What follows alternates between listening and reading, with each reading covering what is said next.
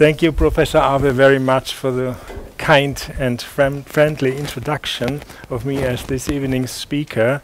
Partly uh, it is undeserved, but thank you very much for that.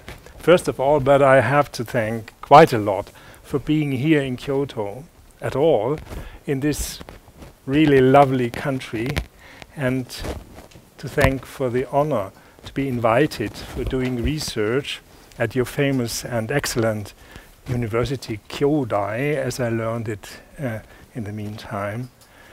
And especially thanks to Dean Professor Tomita, who is uh, absent today because he got no time, and to Professor Abe again, who had the idea for that generous invitation. And also to the graduate school and faculty as a whole for the great hospitality and support in realizing this Kenkyo Taizai. Makoto ni arigatou gozaimashita.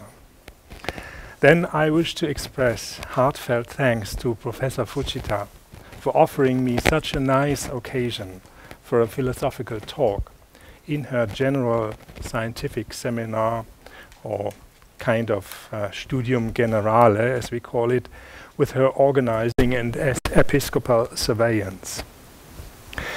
And of course, I thank you all for coming and your interest into some piece of philosophical thinking, which I will try to explain to you. I'm very happy to take the opportunity and to tell you about the greatest Western philosophers' ideas on the nature of the human soul. They wisely clothed their ideas into pictures or allegories, like Plato and Aristotle did, when they spoke of the soul as you saw it, as a winged chariot or as like a hand. Well, um, I let's get started with uh, the lecture. There are two handouts which I have prepared with the help of Professor Arbes, one in English and the other, I think, in Japanese and German, if you uh, want some support for uh, following uh, the English lecture, you can uh, look onto these handouts. Every human has a soul. The soul connects us with all things because we can experience, feel, and think about them. However, it also separates us from them and from one another because your way of seeing and hearing and feeling is not already my way of seeing and hearing and feeling. And because what we see is not the seeing itself. Everyone represents through her soul another place where the world gathers together. The soul has always, in all parts of the world, been a not fully explained, enigmatic object of thought, in Japan and Asia as well as in Europe and the West. Until today, we don't know what the soul really is, and probably we will never know it. We can only experience it as long as we enjoy ourselves in having a soul.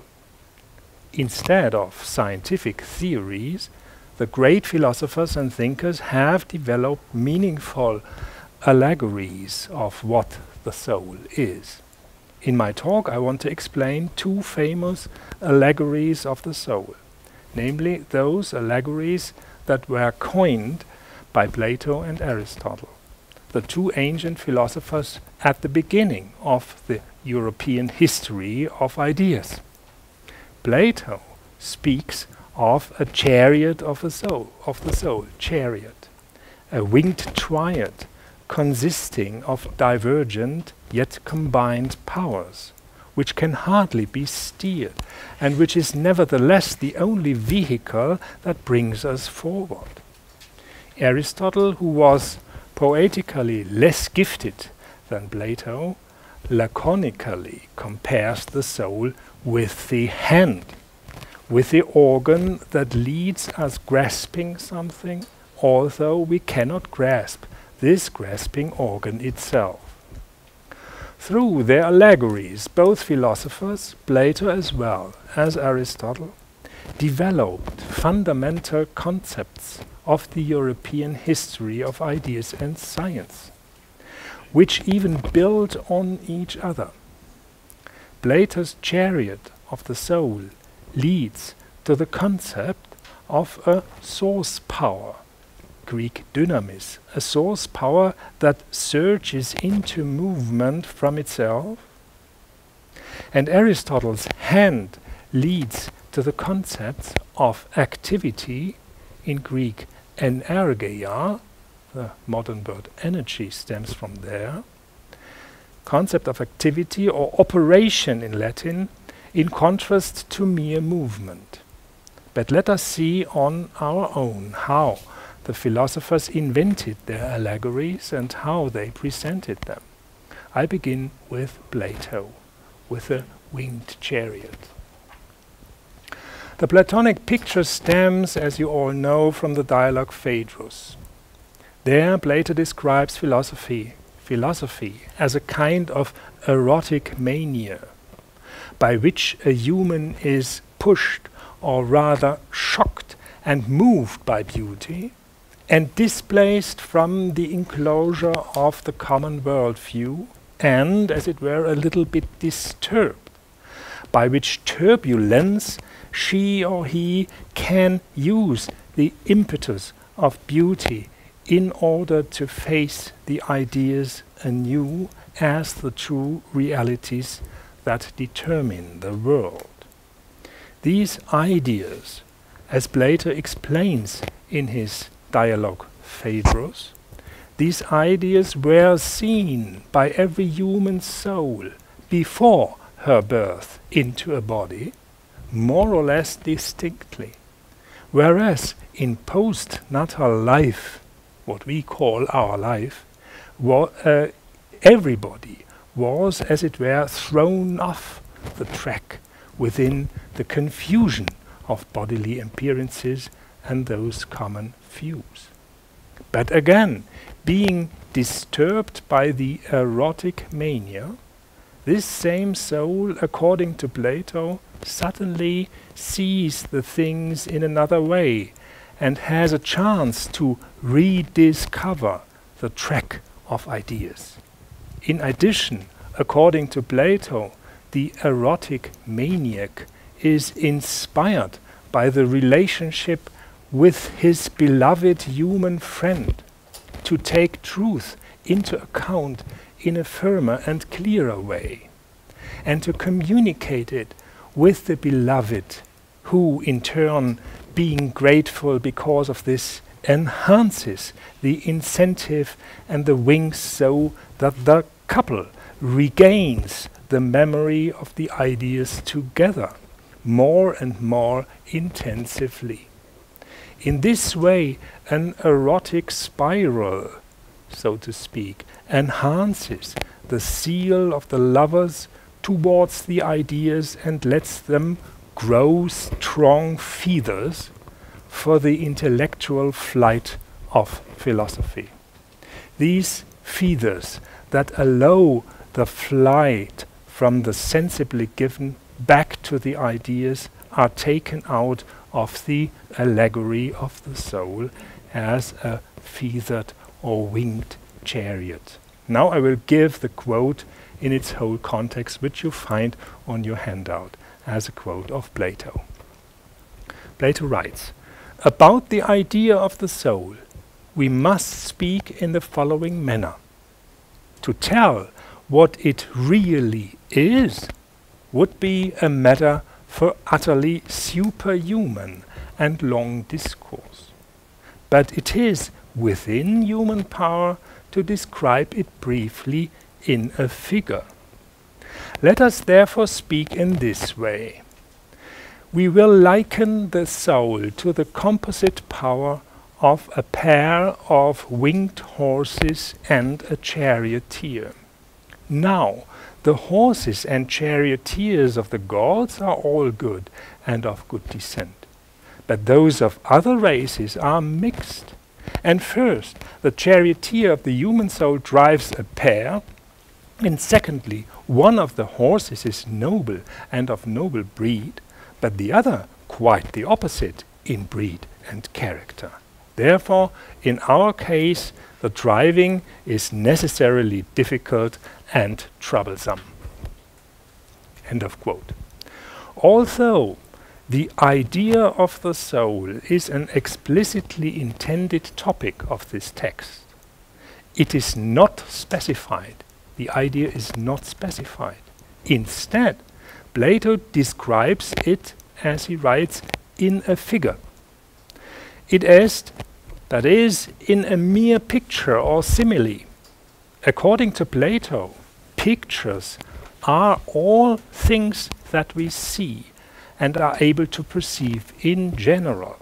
However, a picture is never the thing itself that is depicted in the picture by a certain similarity. There are many equalities and similarities of a thing. Many pictures, but only one single item is the thing itself. There are visible images, acoustic images, images in the sand, wall pictures, shadow images, even thermal images, neural images, and so forth. The thing itself, however, is, according to Plato, never something visible or perceivable, but rather, as we all know, an idea according to which we must think if we want to properly understand an image that we see. All things, the whole world of perception, ta horata, the visible things in Greek, are, according to Plato, mere images. The whole world of perception are mere images. That is, they don't stand for themselves, but at best direct our understanding towards the things in themselves that manifest themselves within the images through a certain similarity, and which we cannot see nor perceive, but only think.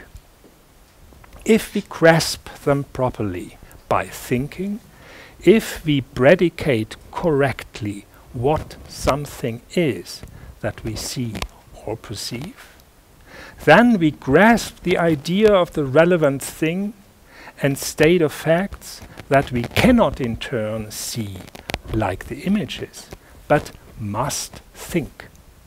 To think means to formulate or to articulate something by one's own effort in a way that the articulated thought is possibly true or appropriate.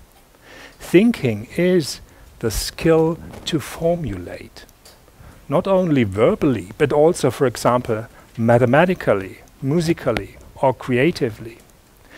What we see with our eyes is not yet the truth. It cannot be the truth, but is an image. In order to recognize the truth of a, of a thing, we need to think of it in terms of its idea. However, thinking always demands from us an own performance of our soul, while seeing and perceiving take place, as it were, even in one's sleep. For to be sure, also dreaming is a kind of perception, however, not the act of formulating and not of thinking. We dream without own assistance, without own performance. The soul seems to be something that must perceive all images and, if at all, must think all things that are present in them by resorting to the right ideas. But it is also sure that the soul itself can neither be an image that is perceivable nor an idea that one needs to think the soul itself is not something, but always exists towards something, or in relationship with something, or as an intention directed to something. The common Platonic separation between the things of perception, that are images, and the ideas to which one refers by thinking This common Platonic separation breaks down in terms of the soul, which doesn't belong to any of both areas, neither the sensible ta horata nor the intelligible, but refers to both and mediates between them as it flew, as a winged chariot. Hence, it is not surprising that Plato doesn't present an idea of the soul, but in turn an image that is not the soul, but merely resembles it in a certain way. Thus, we must not think that Plato conceived of the soul as a kind of winged chariot. For a winged chariot would be something. However, the soul is not something, but stretches out towards something. The comparison that Plato draws concerns, upon closer examination, not the winged chariot, but the composite power of such a chariot. If you read the text again, it is not the winged chariot which is compared, but the composite power of such a chariot. A power, the Greek word for that is dynamis. The power, however, is not a chariot, but something that makes it drive. Power means to gain speed. Hence, Plato doesn't compare the soul with a vehicle, but with a composite dynamis of such a vehicle, namely with a power to drive that is fed by several possibly divergent tendencies. The dynamis again is not a thing, neither image nor idea, but is, as Plato explained very often and very clearly at many points in his work, is a relationship towards a tendency to a capacity to do things. And indeed, perceiving and thinking, both activities of the soul, are more similar to an orienting relationship towards things than to such a thing itself. Furthermore, it is important to remark that the relationship of the soul or the power of the soul is, as Plato more than clearly stresses, not a simple relationship or simple power. Rather, the dynamis is a multifaceted one, as composite power of a winged chariot and the charioteer. That is, it is a triply fed power, and at the same time tripartite relationship. And we all know how complicated such triangle relationships can be and Plato as well, to be sure. Plato doesn't give the picture of three souls within each single chest, but of a tripartite soul within each chest, as he explicitly does in his Politeia or Republic. There we find the well-known parts of the soul that are unified in each composite power to which the soul is most similar. The three form acts aspects are the desirous part, to epithymetikon Greek, the spirited part, to thymoeides, and the reasoning part, to logistikon. The desirous part, alas, could be of such noble and good descent as it is with gods, but is, in terms of human beings, such a black and restive horse. However, Plato doesn't mean that we should untie this horse from the chariot. Rather, we need to tame it and integrate the composite power of our soul in a way that it acts toward a unified and hopefully the right direction together. For without desire, without dissatisfaction, for instance, with a status quo, without the need of more than the senses provide us at the moment, man would never take a step. It is only desire that urges us to leave the cave of self-sufficiency. But then, urged in that way, where shall we go?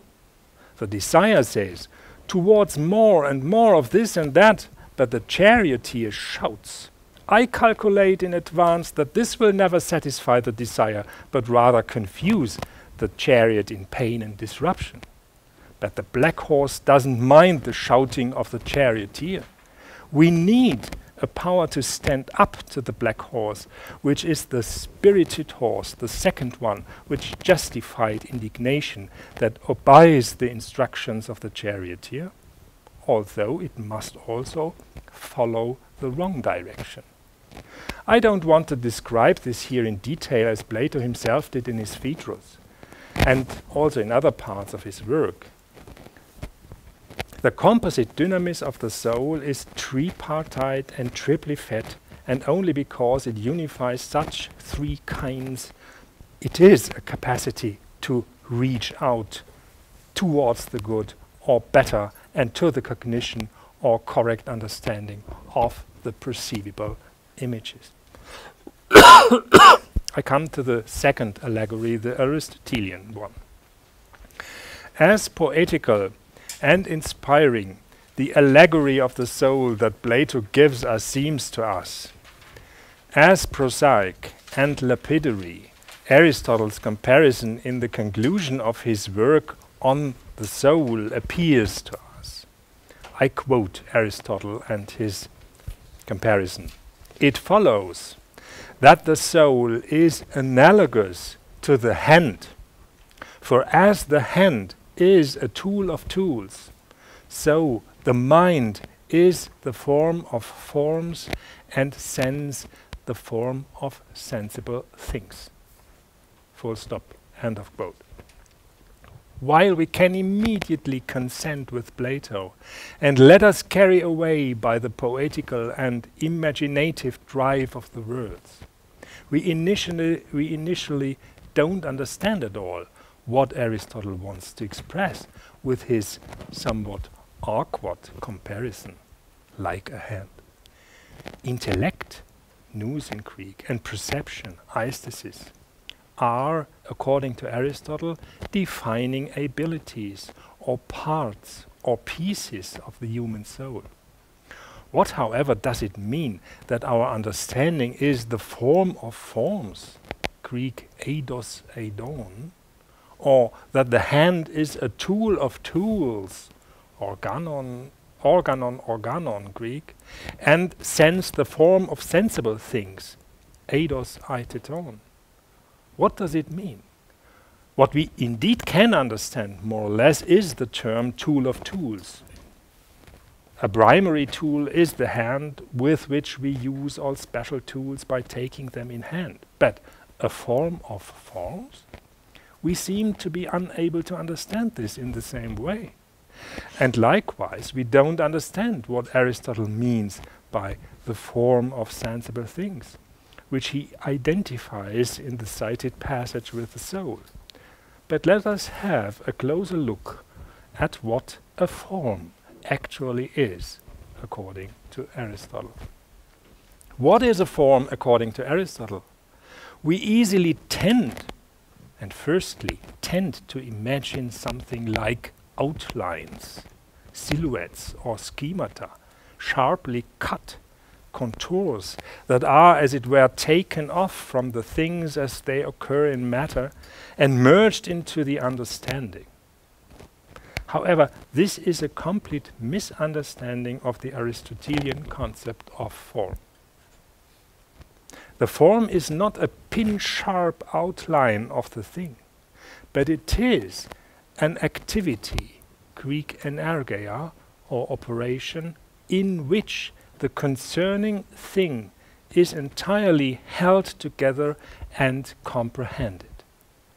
If, for instance, someone plays the piano or sings a song, then not his fingers act while flying over the keys, and not the vocal cords act as they vibrate in the throat. Rather, each single human as a whole is involved in the activity and comprehended by it in the commitment of this activity. The piano stool, the stage, and the surrounding oxygen, however, don't belong to the activity of the play or the singing. Peculiarly, an activity involves and governs the acting subject or the individual as a whole, and thereby separates it from its surroundings. And this is not only the case if someone plays the piano or sings, but according to Aristotle, we are, as long as we live, always engaged in activities, in activities thanks to which each of us and every living being is ever one and not, on the contrary, many things. The activity ori originates from or is maintained by the whole thing that is active, and it leads to or benefits the whole thing that is active. Aristotle describes these relationships more precisely in his metaphysics, and I cannot go into details here. Hence, form, eidos, according to Aristotle, is the engaging activity or operation that holds the thing together and that is performed by it. Life, for example, and the behaviors of all living beings are such activities, or in Greek, energeiai, that is, forms of the respective being that is active.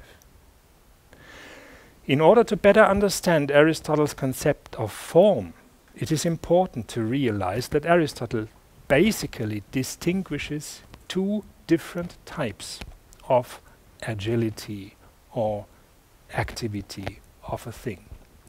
One of which applies to all forms of animated beings, while the other type of agility characterizes only those things that are moved. This is a difference between an activity that is internally perfected and thus self-preserving and self-continuing the activity of life and all operations like singing and seeing and thinking. And an activity that is only a spreading but at the same time increasingly self-losing movement like the movement take it of the wind or the water which Aristotle characterizes as an imperfect activity for that reason. To this difference of activities or agilities corresponds a difference of the forms. The self-preserving and self-accomplished form of animated beings versus, on the other hand, the self-losing forms of merely moved things against each, against each other. For each movement continues from one to the next and the following and nowhere establishes itself as perfect or stable. Activities of the first kind that remain with themselves and whose power is just the activity itself are in contrast animated activities or operations of a system that thereby remains identical and maintains itself and to whose form Aristotle refers as a soul. These real activities like seeing, speaking, thinking or metabolism and reproduction, not the self-losing activities, from uh, form a branching and ramifying tree.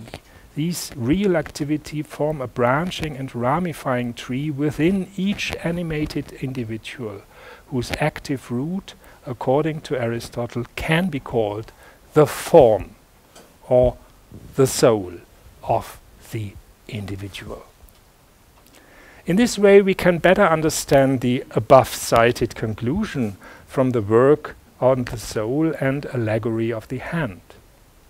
The intellect is, as Aristotle said at this point, the form of forms, and sense is the form of sensible things. Intellect and sense are, in any case, activities and belong to the root of activity of the human soul. While perceiving something, we perceive that what is perceptible of it as a spatial datum, as a special datum in our sense activity. That is, we modulate this activity according to the patterns of the perceived object. For instance, a bright spot or a lightning modulates our already exercised activity of seeing. For it is not the case that the lightning initially switches on our perception. No, it is already going on. And now it goes in a slightly different way than without the lightning. Likewise in cases of hearing, smelling, and so forth. In this way, the sense activity always asserts itself as a form of the sense objects. Likewise in case of thinking. We anyway operate in thoughts, for example, symbolically, with symbols or words, and also with imaginations, and thereby attempt to articulate or formulate certain facts, as I have explained above. Formulating is a capacity of thinking, and the formulation can be true or false under certain conditions. If it is true, then we have recognized the appropriate form of the thought object by means of our own formulation. Because of that, the intellect is a form of forms. That is, a formulating activity that is able to express particular forms that characterize something.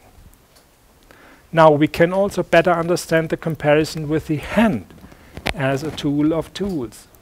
According to Aristotle, a hand is not defined by its look, but is defined by its function, Greek ergon the function that it performs by means of its hand-using activity of a human.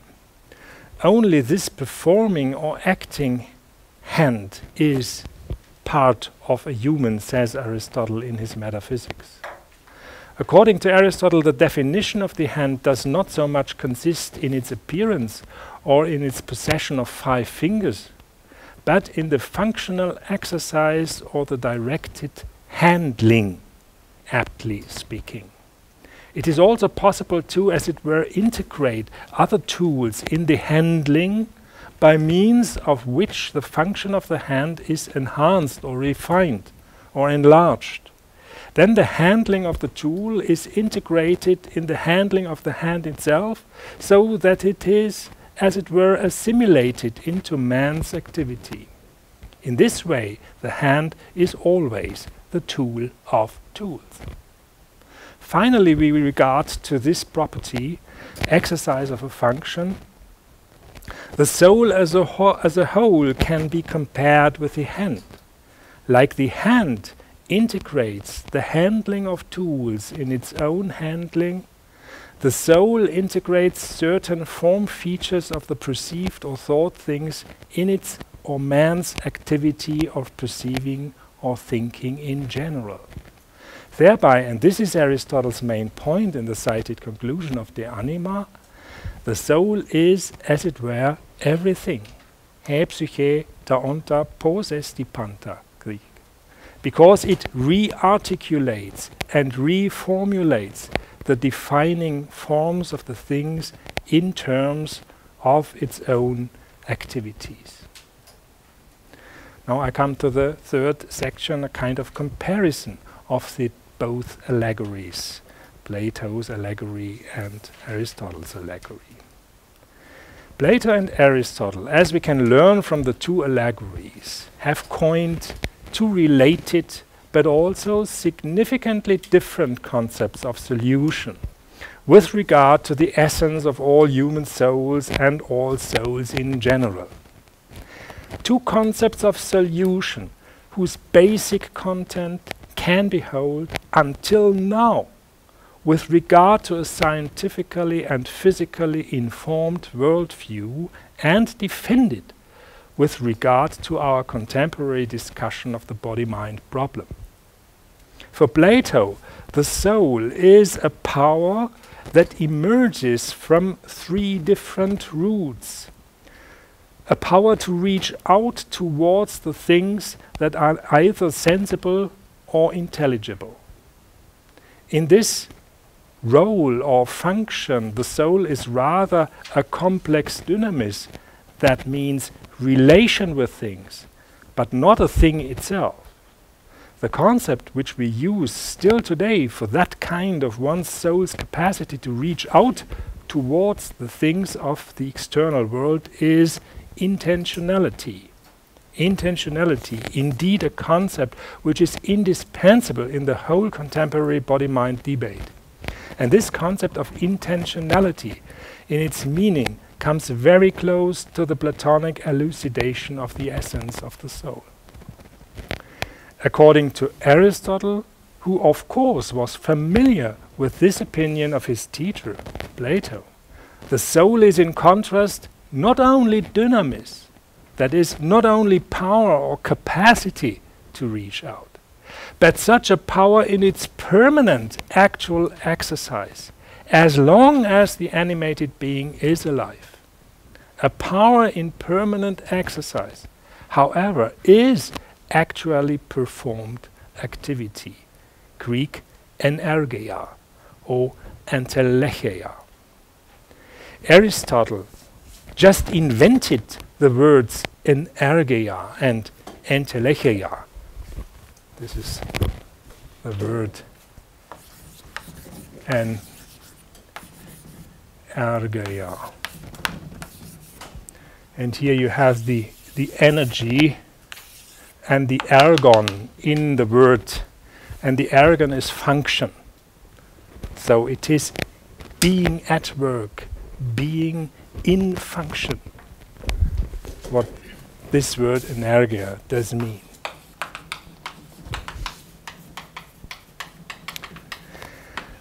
A power in permanent exercise, however, is actually performed activity. Greek word is energeia or the other word entelecheia. Aristotle just invented the words energeia and entelecheia in order to describe something for which Plato didn't have a verbal expression. These two new words, energeia and entelecheia, denote the effort to reach out, neither in its latent and hence imperceptible static state as mere power, to which we refer as disposition today, nor in its consequences or impacts, the effect of the use of power. For the effect or the impact of a use of power always consists in certain self-losing movements or changes. Someone shouts or, signs or sings so that the windows burst. This is Oscar Matzerath in Günter Grass' famous novel The Tin Drum. Or someone dances so that the floor vibrates. These are the effects of singing, bursting or vibrating. These are the effects of singing or dancing as activities. Of course, it would be possible to cite the vibration of the eardrum or the firing of neurons in the brain of another person as effects of singing and dancing. But again, the effect of a dynamis, of a power, is self-losing movement. But the dynamis itself is, apart from its effects, imperceptible, latent, only dormant power or disposition. So, Plato didn't have an expression for that which lies in between, between the effect mere movement, self-losing movement, and its imperceptible origin, the capacity of, or the dynamis as such. It is only Aristotle who gives a name to the essence, the thing itself, the manifest actuality of the soul and of every animal, namely the name, energeia or entelecheia, literally being at work, being in activity, or being in completion. According to Aristotle, the soul is a self-accomplishing reality of a certain complex body. And the self-accomplishing reality of such a body solely consists in activities that are linked to each other. Without soul, that is without activity, it is merely a big heap of decomposing molecules and its decomposition is in turn merely a bulk of self-losing and diffusing movements. But with a soul, such a complex body always consists in a self-accomplishing and self-linking activity. It is this activity that holds it together or makes it become the unity of an individual animal and not a heap of diffusing molecules. Hence, according to Aristotle, the soul is a trunk of rudimentary activity, a trunk of rudimentary activity in each single being on which fruit-bearing branches of activity are grafted. In that way, we see a musician successively grafting his musical fruits on the trunk of music, that is, of hearing, and at the same time playing in him. From an early age and bit by bit, we graft the most subtle activities of seeing, feeling, behaving, speaking, writing, calculating, and so forth on the children's trunk of activity. However, for what we don't find a connection in an already existing trunk, trunk of activity, we can never teach this a child and a human in general. Our technique serves to make the contact with new branches of activity accessible to man. Here we can see again that if all technique is just a tool, the soul is like a hand, for the hand expresses the last connection to our self activity. Self activity, however, is, as long as we live, the soul of man and each animal. To be sure, the rational, that is, verbal or intelligent capacity of our self activity to modulate distinguishes the human soul from the animal. However, not absolutely and not discontinuously. Even animals have rudimental verbal and cognitive dispositions of action. Why not, if we are, after all, essentially related with them? But animals are not able to have control over, that is, to take in hand the development and refining of their activities through generations, to use the Aristotelian allegory another time. Thereby, they, after all, essentially differ from humans on the basis of a better understanding of the allegories of the soul in Plato and Aristotle. We have also gained insight into their respective theories on the essence of the soul. And we have recognized that the theories of the soul of both philosophers are deeply connected and built on each other. The older philosopher conceives of the soul as a complex dynamis, a complex power that is at least fed by three roots a capacity to reach out or to undertake movement towards something, be it sensible things, images, or intelligible things themselves, ideas. Aristotle, the younger philosopher, who builds on it, firstly finds the concepts that grasp and describe the phenomenon of reaching out on the way itself and thus neither only at the imperceptible source point nor at the self-losing effect, namely real activity and energeia or self-preserving accomplishment, Greek entelecheia. The soul in Plato versus the soul in Aristotle behaves like dynamis versus energeia, being capable versus being at work.